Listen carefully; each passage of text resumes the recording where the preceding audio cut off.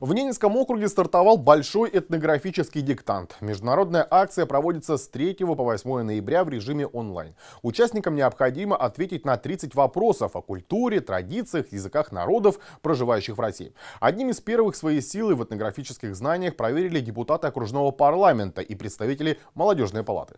Ольга Руссул продолжит тему. Большой этнографический диктант – это просветительский проект, который знакомит с культурой народов, проживающих в России, а также позволяет оценить общий уровень этнокультурной грамотности. Задания диктанта оформлены в виде теста. Депутат окружного парламента Николай Миловский в этнографическом диктанте участвует второй год.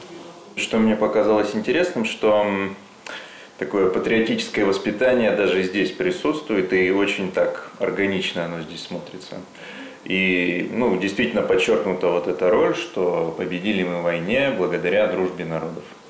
Тест состоит из 30 вопросов. 20 вопросов – общефедеральная часть диктанта, единая для всех участников. 10 вопросов – уникальная часть диктанта для каждого субъекта Российской Федерации и других стран.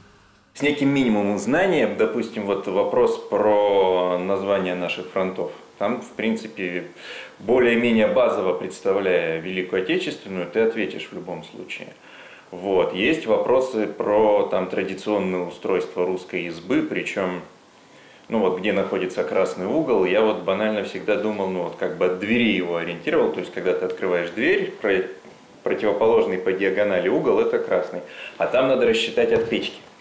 Председатель молодежной палаты Ненецкого округа Владимир Абрамов тоже старается участвовать в таких просветительских проектах. Кроме того, палата два раза в год самостоятельно организует для жителей региона свои диктанты по истории Отечества и Великой Отечественной войны.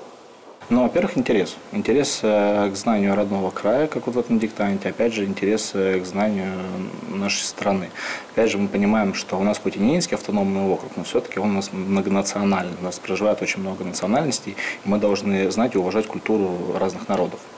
Но, опять же, для меня, как для председателя молодежной палаты, очень интересно все-таки, что мы можем дать молодежи.